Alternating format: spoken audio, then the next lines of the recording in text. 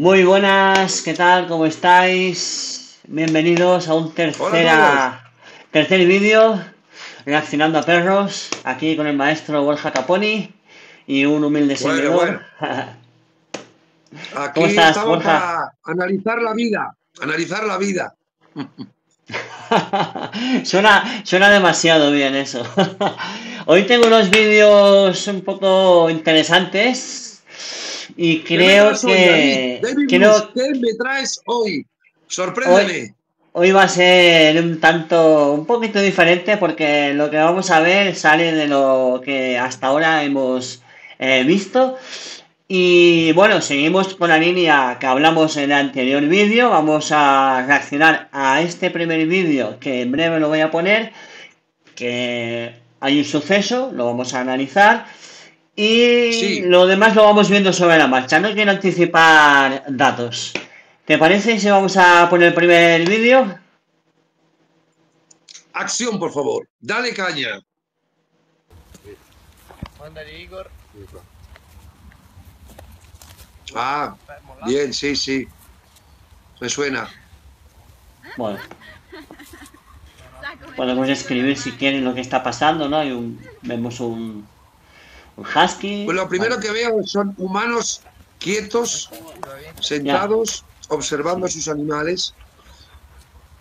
Eso es lo que me, me da, Eh, ah, me causa sensación.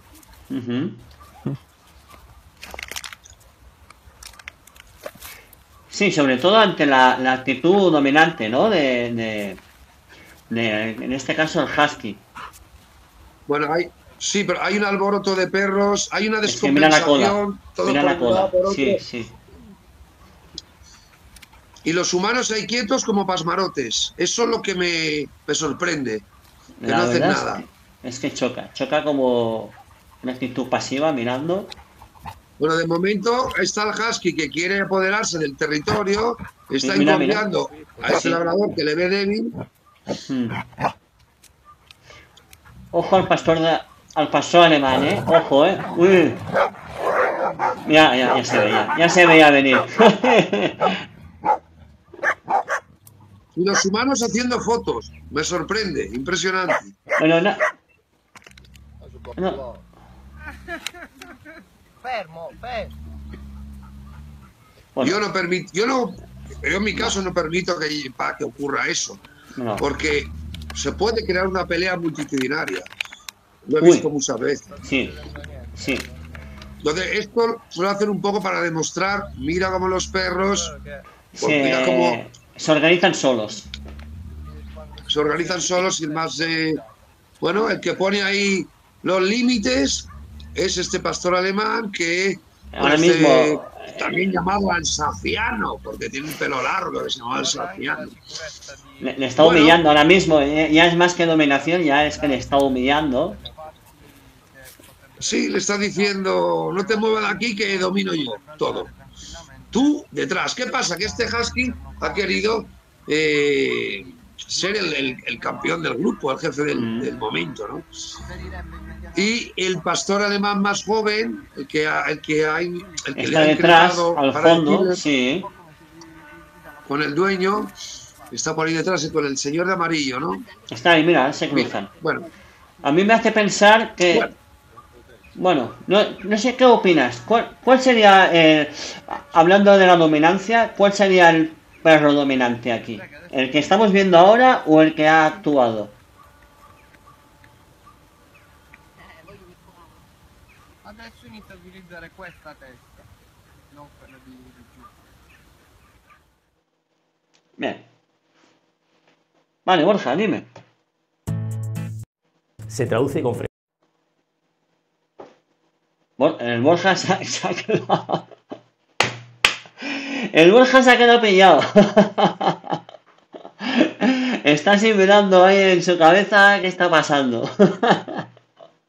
Bueno, esperemos a que vuelva un poco la conexión. De verdad que estamos grabando en un día de, de lluvia y bueno, esto- estas cosas pueden pasar. Sí, Borja, te has quedado ahí bloqueado. ahora, ahora, ahora.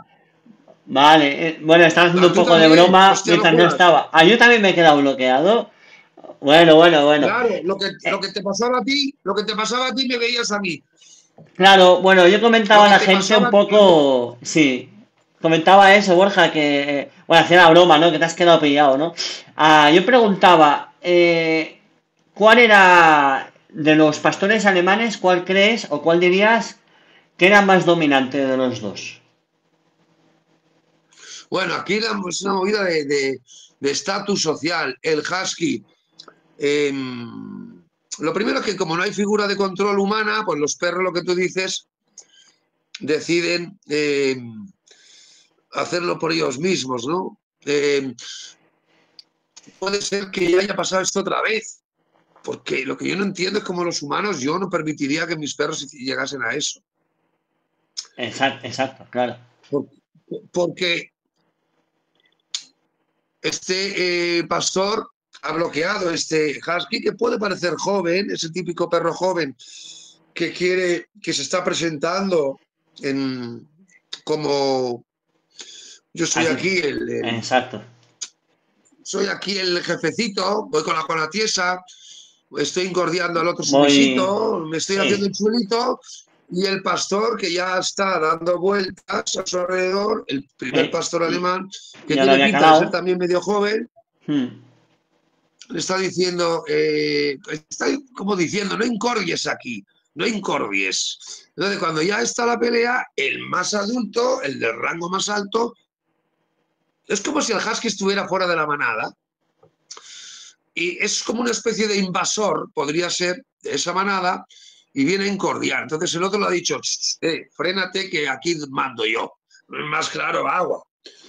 Más claro agua. Y ¿Que tanto. ¿Podría el husky haberse dado la vuelta? Podría el husky haberse dado la vuelta. Si eso se hace a Apolo, a lo mejor mi perro Apolo se da la vuelta. Yo no permitiría eso. Pueden pelearse, sí. El- el- podría haber un contraataque, podría.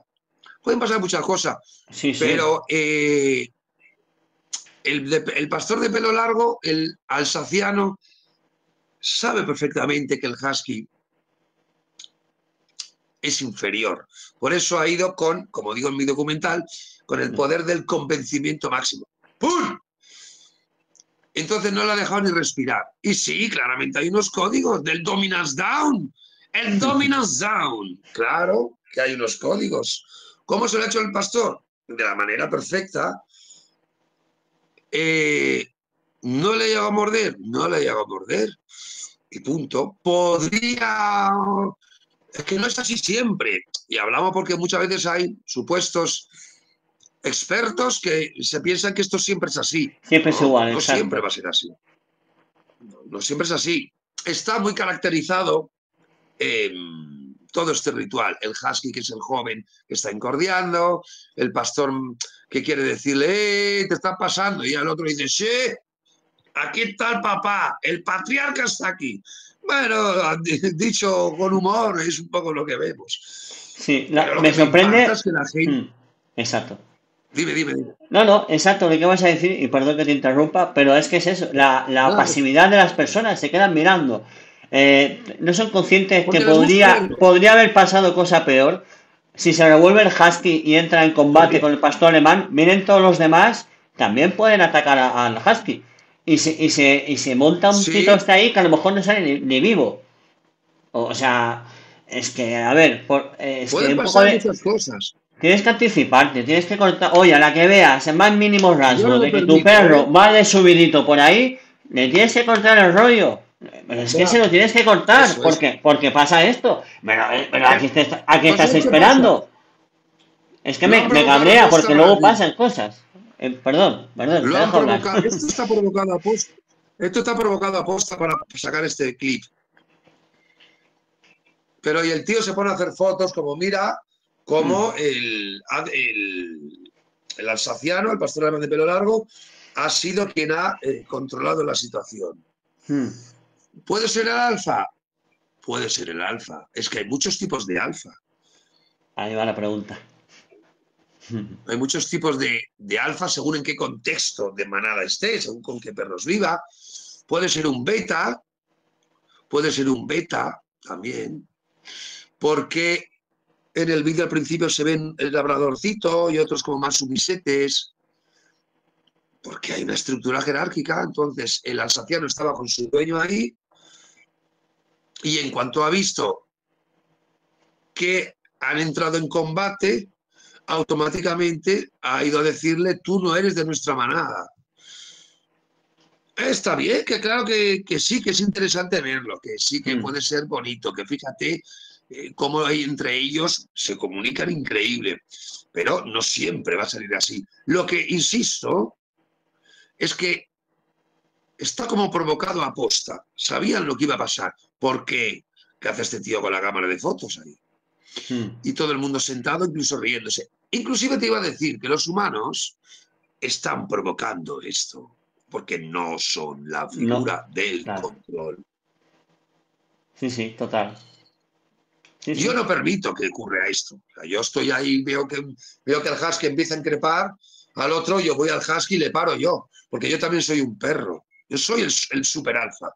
Y yo le digo al, husky, fuera, mando yo. Para eso hay que aprender a hacerlo. Fíjate que, lo, lo, tumba y el mensaje que podemos interpretar eh, es el de aquí así, no. Pero para nosotros, ese mensaje no lo tiene que dar él, lo damos nosotros y se lo anticipamos a los hechos. Punto, se acabó.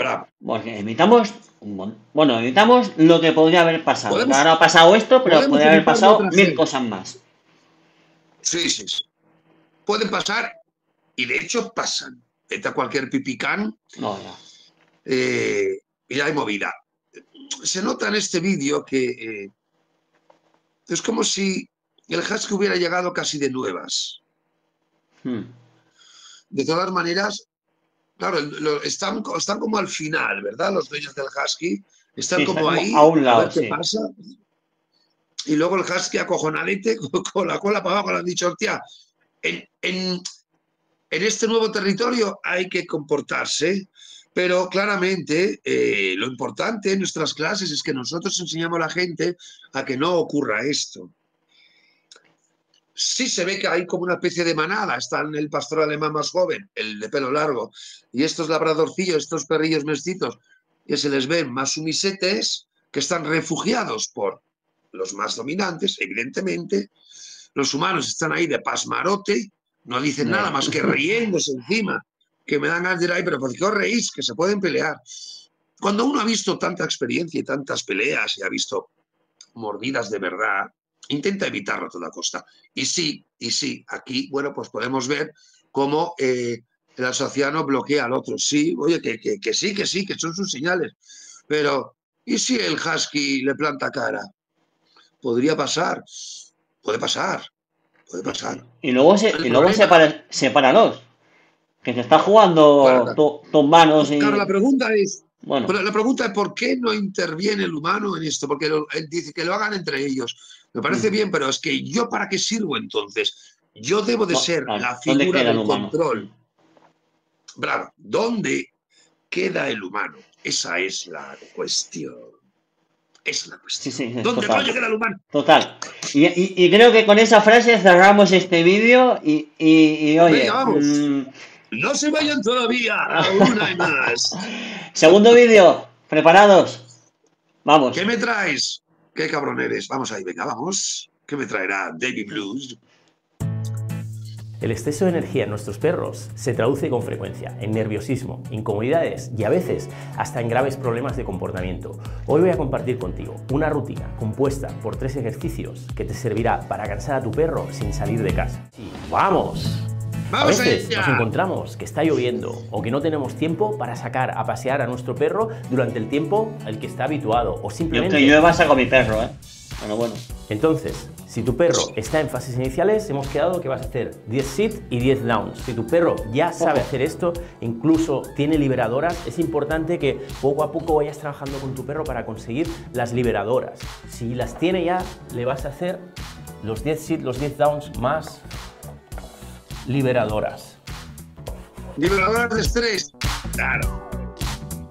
Después, lo que vas a hacer es, una vez tengas, tengas bien comprendidos los ejercicios de sit y down, probablemente estás viendo este vídeo y tu perro tiene bien comprendidos estos ejercicios muy bien. Vas a hacer 10 repeticiones alternando el sit y el down. Voy a coger agua. Alterno, ¿de acuerdo? Sería algo parecido a lo que... Vale, lo he parado hasta aquí. Dale ahí, sí. Sit y down. El tuyo que hace, el blues que sabe hacer. Hace el da- sit o down. lo hace, lo hace igual, sí, sí, hace al revés, lo hace down sit. Sí, sí, porque el sit down no le sale. Vamos a ver. este de vamos puta a ver con broma. Manuel. Eh, vamos a ver, ¿para qué cojones quieres tú que el perro haga sit down, down sit 10 veces al día como si fuera esto Porque crossfit? ellos piensan, Ah, ellos piensan que descansa mentalmente. Ahí está la cosa. Es que no hace falta ni acabar de ver el vídeo. Eh, claro, ¿realmente se cansa un perro por hacer 10 veces sit, 10 veces down y luego liberadoras que me suena a, pelotas de estas chinas? es que lo necesita el perro realmente. ¿Crees que se cansa el perro? Un perro que sabemos que vive el momento. ¿Crees que se cansa con esto? No sé. ¿Qué dices? Para ellos sí, para ellos le cansa psicológicamente. Eh, mis perros, ahora está lloviendo, mis perros están ahí durmiendo tranquilos en el sofá. ¿Por qué? Porque saben que ahora toca estar descansando. Tenemos una manía persecu- persecutoria también a partir de los programas y todo lo que... Estamos obsesionados con cansar al perro tanto físicamente como mentalmente. Es una obsesión que lleva un montón de tiempo eh, por todas las redes sociales y, y el perro está donde tú estés. Si tú no le provocas condicionantes constantes, el perro aprende a estar tranquilo. El perro está donde tú estés, si tú estás tranquilo, el perro está tranquilo. Es una cuestión de transmisión, de, de energía, de estados de ánimo, como siempre se decía. Si tú le estás siempre proporcionando condicionantes que él lo llama liberadoras, es como que como hace cosas, libera estrés. Pero eh, después de ese sit, que ahora quiero verlo, le das comida, a ver lo que hace. Sí, Eso es lo bueno. que hace, David, dale. Partimos de que, la- de que tienen la- el pensamiento sesgado, ¿no? De, de- de que un perro necesita hacer X ejercicios Sí. para, para liberarse, eh, liberar el estrés. Bueno, vamos a ver cómo, cómo continúa el vídeo. Como si el perro fuera una fuente de estrés constante, como si fuera una bomba que va a estallar. Buf, no entiendo. Eh, Cuando hay genotipo en temperamento de nacimiento, es importantísimo también entenderlo. No es igual un perro con un temperamento muy bajo que duerme mucho, con un temperamento más alto, pero si el perro, si tú no le condicionas todo el tiempo y tú estás tranquilo, por mucho que sea un perro dominante, el perro va a estar tranquilo contigo, aunque no le saques mucho. Porque si tú le estás siempre dando condicionantes y eres un dispensador de comida, el perro siempre está esperando cosas. Si Bueno, tú no que- le condicionas a, si, tú le condicionas a poquito, va a estar poco condicionado, porque vive el momento, como bien has dicho antes. Pero es que ya ahora volvemos a lo que estábamos hablando anteriormente, en el vídeo anterior. Es que en mi casa, yo lo que quiero es que, por ejemplo, Blues esté tranquilo, calma. Que no Claro. significa, no significa que no pueda jugar con él y tal, y haya un momento de excitación. Sí, lo pueden haber, pero hasta que yo digo, eh, ya, pum, se acabó. Y ahí él ya sabe que se acabó, pum, ¿vale? Ya Además, sabe, ya interpreta, ya duermen- interpreta es lo que le estoy diciendo. Los perros El- duermen muchísimo, claro, los perros duermen mucho. A ver qué, a ver qué estímulo positivo le da. Seguro Bueno, que comida, vamos. vamos a ver. Hombre. Ay, dejadme los comentarios. Dale ahí. Sit. De pie. Sit. De pie. Down. Ok. ¡Hola! Buena. Muy bien. Y para acabar, lo que vas a hacer es hacer 10 repeticiones de una habilidad nueva o de una habilidad que estés construyendo o que necesites repasar, porque de esta manera le vas a exigir muchísima concentración y más esfuerzo mental. El perro quiere más, quiere más. Te voy a poner un ejemplo de cómo construir una nueva habilidad, una habilidad muy sencilla. Lola, ven. Que sería, por ejemplo, el twist. Te pones un premio de comida en la mano y haces que el perro te siga. Cuando ha acabado de seguirte, se lo entregas. Probablemente no querrá seguirte el premio. Aquí ya se lo puedes dar y luego le sigues. Igual al principio no te acaba de dar la vuelta. Por ejemplo, esto sería un ejemplo. Esto sería un, un ejemplo, un ejercicio para una habilidad sencilla. Lola, yo ahora mismo, después de la rutina, le voy a enseñar o vamos Fíjate a pasar. Corta un momento, corta un Entre. momento, corta un sí, momento. ya está viendo la actitud del perro. Está viendo la actitud del perro, ¿no? Mira la cola. Tú imagínate que haces eso con un niño con ganchitos, con un gusanito. Imaginaros por un momento, todos los que estáis viendo este vídeo, que esto lo hacemos con un bebé de dos años. A que parecería una tortura. A que dirías, deja al niño, tío. La la chucha deja No al hagas niño que le ya. cuentas a la María Pérez. Mm. No, sí, sí, sí. Total. O sea, Ah, ah, Yo sé que a él, y de verdad nos encantaría tener con él una, una charla, porque es un buen tío y nos cae bien y es una persona encantadora y lo hace con todo su amor. Y realmente al perro no le pasa nada, está realmente... Pero a ver, por hacer esto no va a estar más tranquilo ni se va a dormir luego, porque son mm, apenas ni tres minutos esto. Eh, ¿Qué lo haces? ¿40 veces al día? Eh, es que esto es como que engancha, porque al final estás dando una recompensa proteica, estás dando comida, el perro quiere la comida. Imaginaros un niño que empiezas a dar vueltas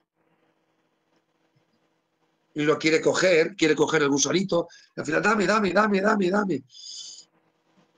Estás, utili- estás utilizando, estamos utilizando la inteligencia funcional, el condicionamiento operante a través de, ser un dispensador de comida, porque el perro te está mirando la mano todo el tiempo.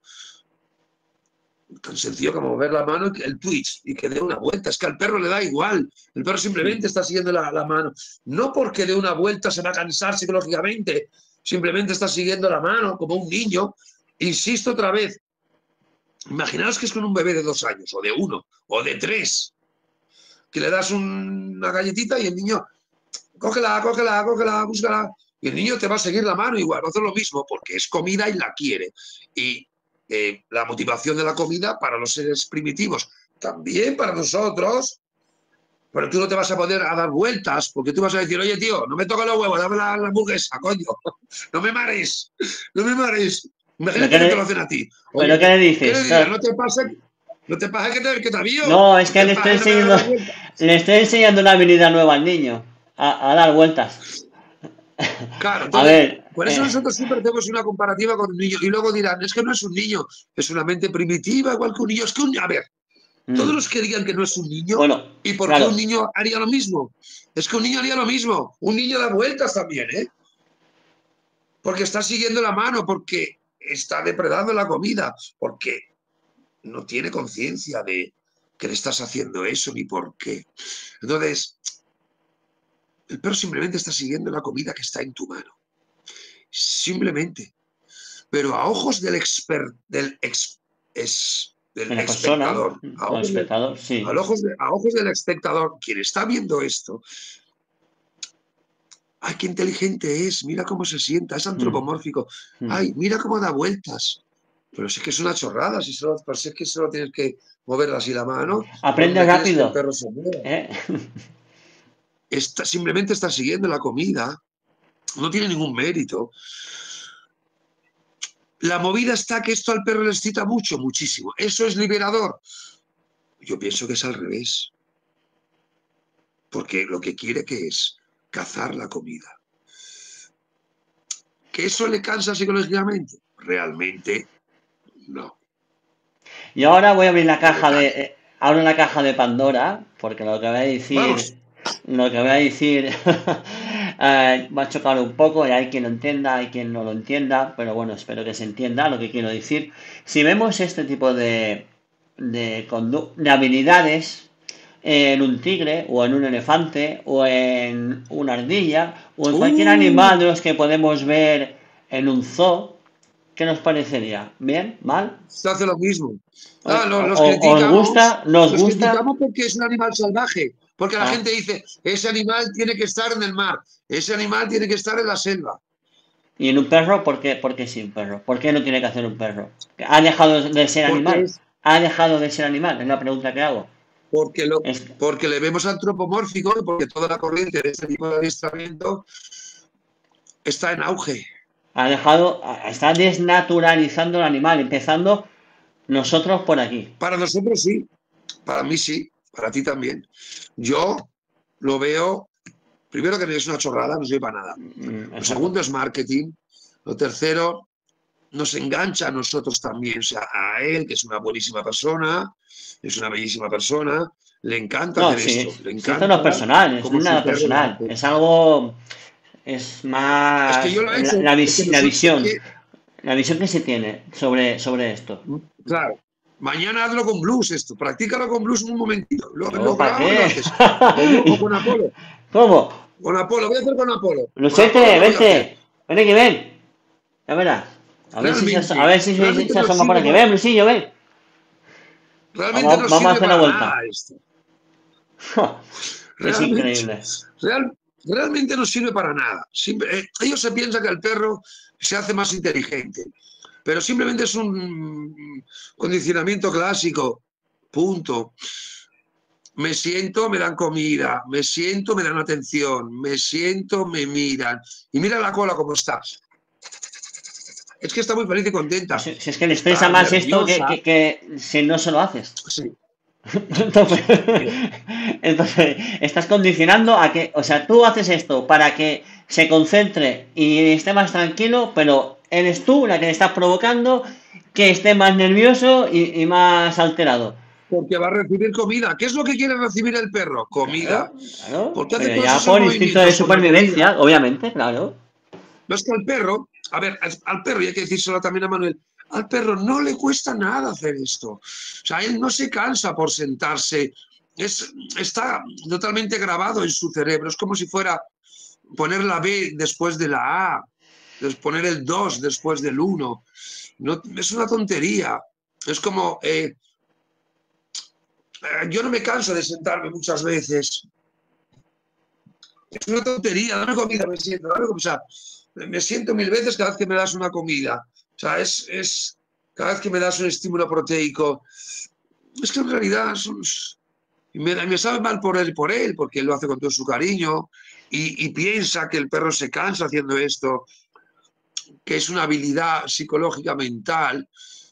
Si no lo hace, el perro, ¿qué hace? Duerme, está por ahí.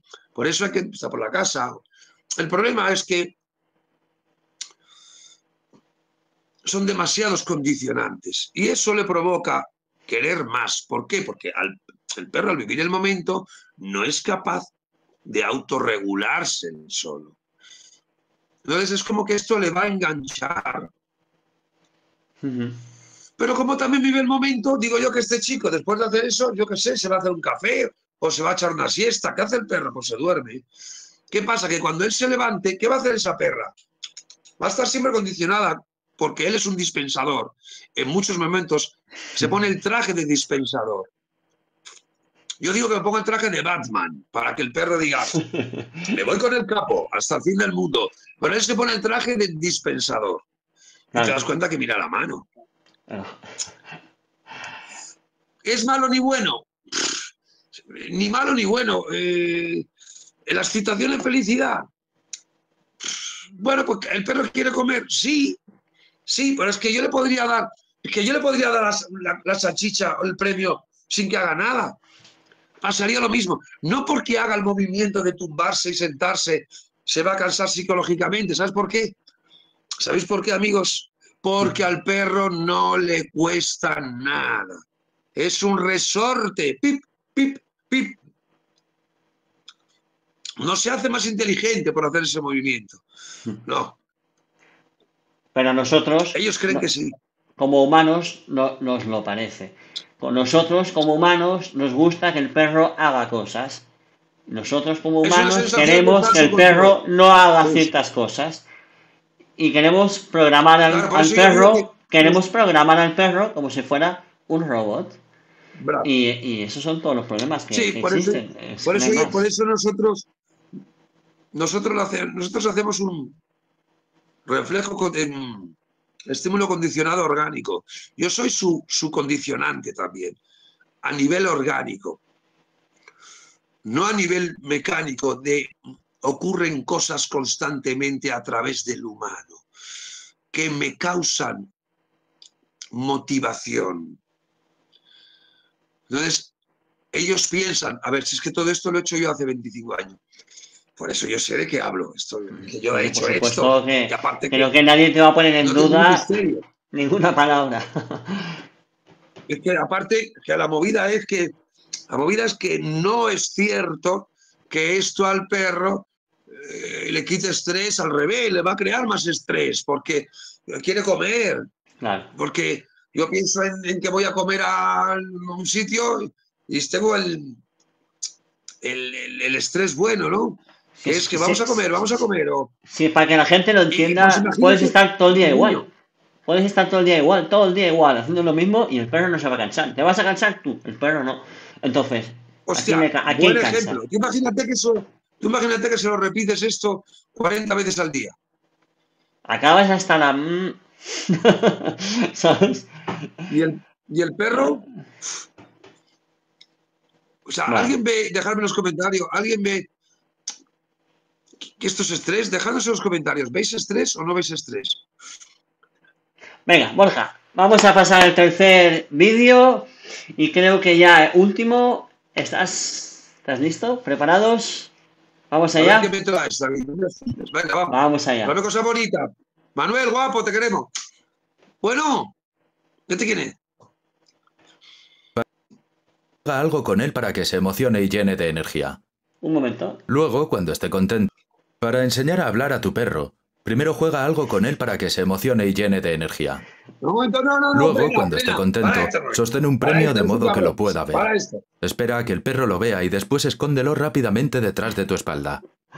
El perro empezará a ladrar en cuanto lo escondas. Cuando lo haga, dile, habla, y dale el premio para recompensar su comportamiento. Sigue practicando este truco todos los días y empieza a quitar los premios hasta que ladre cuando digas, habla.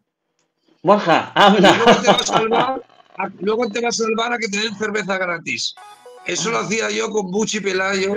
Íbamos a ver a Román, que en paz descanse. Dile que hable, dile que hable, dile que hable. Habla, habla, guau, guau, guau. Y le tiraban, le tiraban el salchichón.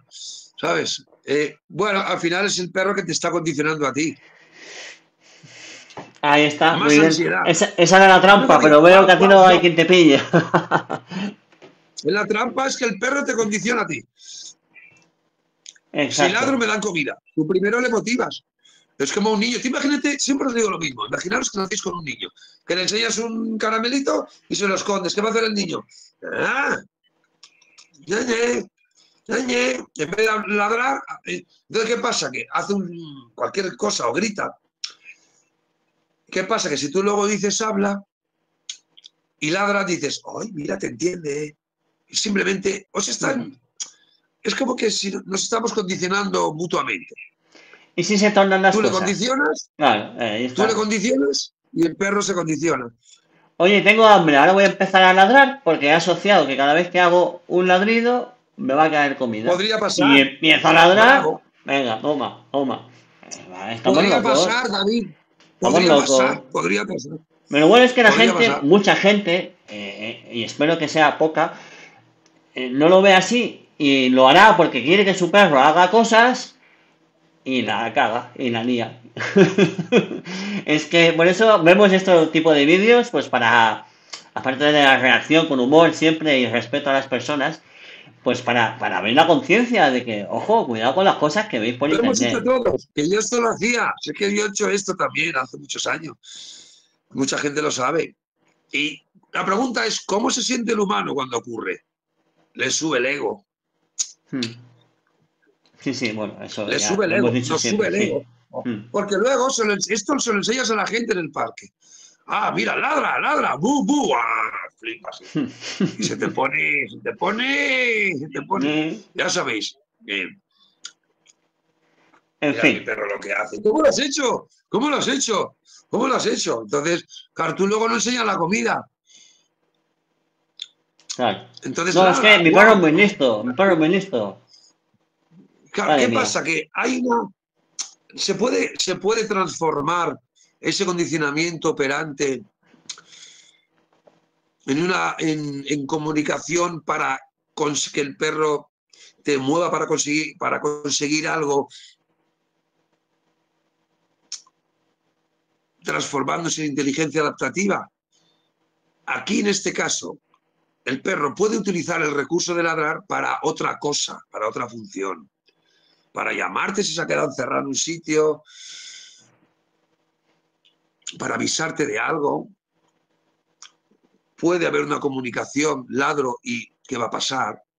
Pero ¿no quieres decir que esto es ya de forma natural parte de la inteligencia instintiva? Puede ser, claro. Pero tú puedes también, ¿ves? Pero, pero puedes eh, adelantar el, el-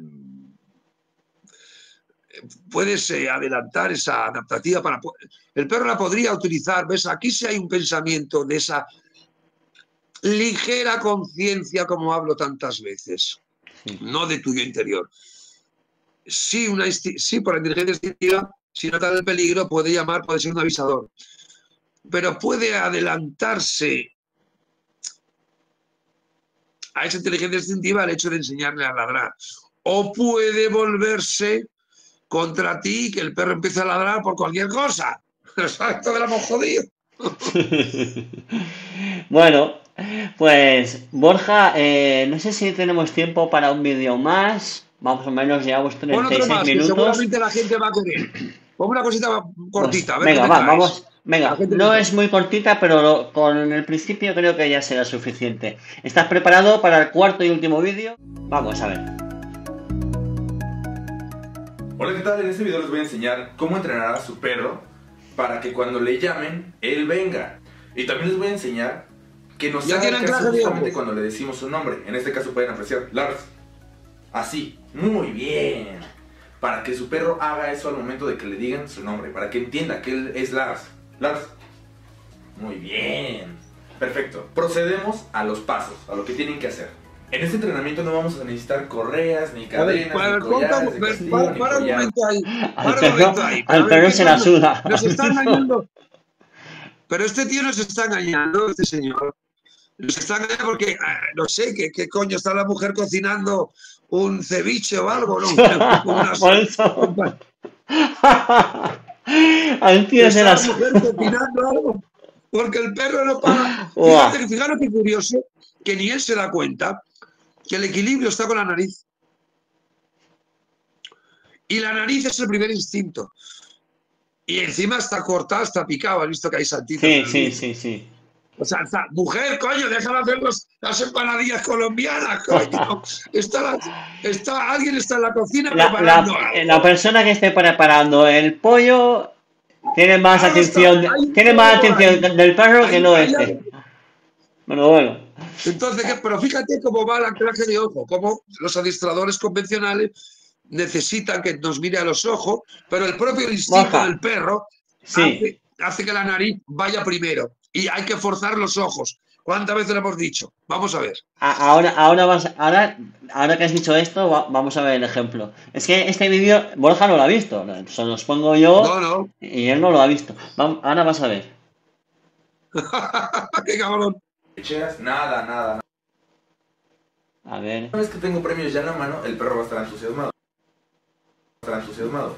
Primero empezamos con su nombre. Entonces, agarramos el momento justamente cuando el perro esté distraído y lo llamamos por su nombre. En este caso, este es el ejemplo perfecto. ¿Qué ha pasado? Lars. Muy bien. Si nos hace caso, premiamos. Si no, seguimos insistiendo, perdón, hasta que él voltee y nosotros le damos el premio. Buscamos otra vez el momento cuando él se distraiga. Lars. Muy bien. La orden tiene que ser firme. Tiene que ser un poco con poder la palabra para que él voltee, así como, ¿qué onda? Que nos vea a los ojos. Lars. Lars. Muy bien. Pero cuando ojos. eh, quiero que me vea, no es al brazo, no es a la mano, no es al premio, no es a las piernas, no es al pecho, es a los ojos. Lars. Muy bien. Aquí si ven, él hizo contacto conmigo. Aquí lo felicito muy bien, chiquito. ¿Por qué? Porque sí me hizo caso. La verdad, igual. Lars. Eso, muy bien. Por ejemplo, si Está nuestro siendo perro solo se antinatural, queda el viendo es lado, se queda antinatural. privado viendo otro lado, lo que sea, hacemos ruidos extraños. Ejemplo. Lars. Muy bien. Y siempre decimos el nombre. Siempre decimos el nombre cuando nos voltea a ver. Muy bien, chiquito. El listo, perro, el perro que y esquiva. Ahora un momento, esquiva la caricia. Lo has visto, ¿no? Esquiva Con, la caricia. con- esto ya hemos visto suficiente. O sea. Bueno, ah. ¿qué me dices tú de esto? ¿Qué me dices tú? Es que es me que me- recuerda a mis, a mis super principios. sea, es que esto me recuerda hace 35 años. Cuéntame. Me río mucho, me río mucho. Primero me río porque es sensación de falso control, ¿no? Como que dice, el perro me tiene que mirar a los ojos. Para, ya, ya está metiéndole valor antropomórfico, como si fuera una persona. Las personas, todos, las personas sí nos miramos a los ojos. Lo- los animales no se miran a los ojos. Eso es- está claro, ¿no? Vale. No es Yo no necesito. se miran para, se miran para retarse, si hay, si están enfocados. puede haber un ligero contacto visual y, y a lo mejor en ese ligero contacto visual te, te está, está dando mensajes súper rápidos que no mucha gente sabe De leer. amenaza, de amenaza. Entonces, Por no eso, necesitamos que- claro. que, nos miren a los ojos. Sí, sí. Eso lo perdón, no, no necesitamos que nos miren a los ojos. Segundo, eh, él cree que porque yo le llame y me mira a los ojos, yo ya tengo el control. Y estamos viendo, y de eso, por eso nos reímos tanto, que a este perro se la suda, se la suda esta persona, ¿vale? Y allá donde hay otra persona con comida, por más que tú le digas, Lars, Lars, eh, con tono de sargento, eh, si le llama más la atención la otra comida, va a ir a por la otra. Entonces, ahí no hay Podría un pasar. control verdadero. ¿Cómo se consigue el control verdadero? Entonces, mucha gente se preguntará. Que nos llamen. que nos llamen, Borja, y se lo explicamos. Hombre, hay muchas cosas. Hay que llamar, hay que llamar, hay que, hay que, primero que no vivimos del aire, lo segundo, evidentemente, hay que corregir muchas cosas y hay que entrenar a la persona. Al final, eh, es que ese contexto está en una habitación, un sitio reducido. Primero que este perro tiene un temperamento muy bajo, este palamute, ¿no? Mm. Y también esa raza, a veces son bastante tranquilos y tiene un temperamento de nacimiento tranquilo. Pero el coñazo de esta, la obsesión de que nos mira a los ojos, que lo dicen todo, es antinatural para el perro, porque ellos se miran a los ojos para retarse. Sobre todo los machos que se, los machos dominantes de, de camadas diferentes que se encuentran en un parque y se van a mirar como reto, como hacen los boxeadores antes de, de una pelea en el ring, que se miran a los ojos, es una cuestión de, de combate, ¿no? Entonces, cuando hay mucha tensión en los ojos, ¡pum! ¿no? ¿Por qué se miran a los ojos? Para verse los puntos débiles también, para ver si uno cede, si uno baja la mirada y tal. Si hay unos temperamentos iguales, estalla la guerra, ¿no? Si no son de la misma manada, o puede pasar con padres y hijos, lo hemos hablado mil veces, digamos que la socialización es muy subjetiva. El perro le obligamos a mirar a los ojos, pero la movida es ¿por qué? ¿Qué más da? Es antinatura que nos mira a los ojos. Es antinatura, pero provocamos eso porque lo hemos decidido así durante tantos años de adiestramiento. Como si mirase, imagínate que el perro mira, yo que sé, para otro lado. Al perro da igual, si te mira la cara o no. Evidentemente el perro te va a leer tu anticipación a lo que pasa después, porque el perro va por delante de ti porque te siente por dentro. Una manera para hacer la llamada, tú puedes es- condicionarle, como lo hacemos nosotros, aquí, aquí, aquí, más comida, el típico toma, puedes hacer, yo podría practicar esto de una manera muy orgánica, no tan mecánica. Todos los días series de tres o cuatro veces, aquí, aquí, aquí, pum, incluso cuando le pongo la comida, aquí, aquí, aquí, pum. Bueno, Y mira la digo, diferencia. aquí, aquí, tres, cuatro Mira la veces. diferencia. es una invitación a venir aquí, aquí, aquí y, de, luego más lejos, aquí, aquí, aquí. No, ven, ven, cuánto, pim, pum, pam, como si fuera un sargento, Ah, hablando casi una invitación a venir. Y ya que os recuerdo que el sonido agudo lo hacen los cachorros para mamá, ven aquí, es como que es una mezcla entre sonido cachorril y condicionado. y alerta. Aquí, aquí, aquí, más comida. El sonido, no, porque los sonidos graves, los sonidos graves es aléjate. Sonido graves es aléjate y él está. Por eso el perro está incómodo. Es, es como incongruente para el perro. Hmm. Sonidos Sí. graves. Hay una disonancia y ahí luego para tocándole. y luego- y luego tocándole. La recompensa histérica. que el ni lo tiene. El perro da igual. El perro le dices a toma. El perro le dice toma y le das y te viene. ¿Cuántas veces hemos visto en el parque la típica señora que iba con las bolsas a dar de comer a los patos y a los perros y a los gatos? Y pasaba por, por la típica plaza donde estaban los perretes, todo el mundo, los típicos pipicán antiguos o de ahora, pero los antiguos, y pasaba la señora con la barra de pan, toma, toma, toma, y todos los perros iban a la señora, ¿no? Y, y ya está, y la señora encantada, y eso era una llamada muy orgánica. Todo esto para mí está requete forzado. Pero queda muy bien ante la galería acariciar al perro. Pero es que el perro hay un momento que dice, déjame ya, tío, que me quita la, la cabeza. ¿Qué puede pasar? Que este Es que perro. esto- Mm. Que este es perro, este perro esto- pueda marcar algún día, algún día pueda ser el caso, que pueda marcar a esta persona. Simplemente porque esta persona no sabe cómo ser realmente esa. El capitán del barco podría Sí, decirle, sí, dámelo gracias, ya, coño. eso. Le podría decir, dámelo ya, dámelo ya, déjate de rollo. De hecho, fíjate cómo, cómo se tira la comida, no, no, no, no le respeta, no se acerca despacio y le coge, no, no, se, se- se tira, como sin ningún Sí, tipo sí, de, sí, de sí, sí, respeto, ¿no? sí, claro. Entonces, Muy buena observación, muy buena observación. Yo qué sé, Bueno. para nosotros todo es anti- muy antinatural. Es como muy forzado, es un condicionamiento operante, desnaturalizador, yo qué sé, pero esto sigue estando en auge. A la gente le encanta ver cómo el perro le hace caso, Mm. porque si yo vuelvo a, a mis principios y recuerdo la emoción que tenía cuando hacía estas cosas, mm, ah, nos encantaba, nos encantaba. Pero cuando luego descubres cómo meterte la madriguera del conejo, es decir, aprender a entender al perro natural, porque tú eres su condicionante orgánico, con tu estado de ánimo. Nosotros hablamos con el perro con nuestro estado de ánimo. Como decimos en el documento, por cierto, ya sabéis que podéis comprarlo, dejaré abajo también el número de la descripción, está por todos los lados. El documental que hablamos de eso, del poder del convencimiento, de poder hablar con los animales con tu esencia, con tu manera Exacto. de, de- de desde ser tu yo interno, con tu manera de sí. controlar tus emociones sin caer del antropomorfismo. Al final, esto es, es una antinatura puesto, puesto en, en En- escena con los sí. animales. Muy bien, Pero Borja. Yo que sé, Yo creo Venga, que el mensaje bien, ha quedado claro. Hasta aquí está tercer capítulo. y dejadnos en los comentarios si vosotros practicáis estas cosas. Exacto, exacto. Y si os gustaría que aclarásemos alguna cosita o si para el siguiente Ah, vídeo que analicemos algún cualquier eh, vídeo que veáis por ahí o lo que sea o dudas, Lo dejáis la dejáis aquí abajo, por claro. favor. Y encantados contestaremos. Los haters también podéis dejar, que nos reímos mucho con vosotros. Haters, vamos, son haters. Si quieres a tu perro, si Aprende lo que piensa. Un abrazo, nos familia. chao. Chao.